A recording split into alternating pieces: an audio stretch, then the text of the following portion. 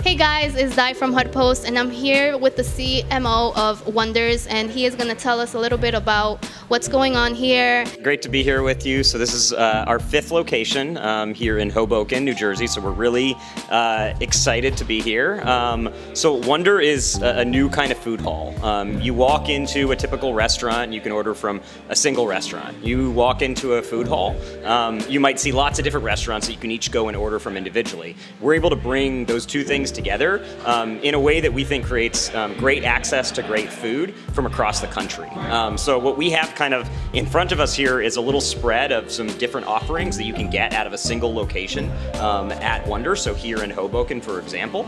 Um, so we bring kind of the best restaurants from across the country together, like I said, into that single location.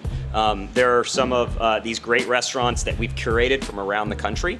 we have Tejas Barbecue, which is this incredible Texas style barbecue that we've uh, brought to the East Coast. Um, we go ahead and, uh, and create new restaurant concepts with famous chefs. So uh, we have concepts with Bobby Flay and Michael Symon and Nancy Silverton um, and a number of other chefs um, that we've uh, uh created partnerships with. So um, right here, this uh, falafel and feta salad uh, is from Yasas, which is a concept that we created with Food Network chef Michael Symon. And then we also build with our incredible culinary team internally at Wonder, we build um, concepts ourselves. So Alanza Pizza um, is a great example of that. Um, we're able to bring incredible um, pizzas that, that people love at our locations for, uh, for lunch and dinner. That sounds that sounds appetizing. I'm really hungry right now. so we're gonna get into this.